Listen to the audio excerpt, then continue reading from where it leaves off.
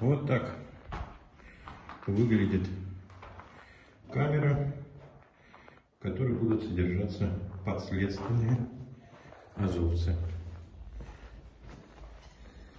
Перед судом.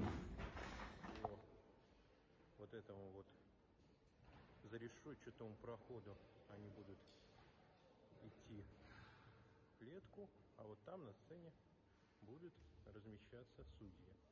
Ну а здесь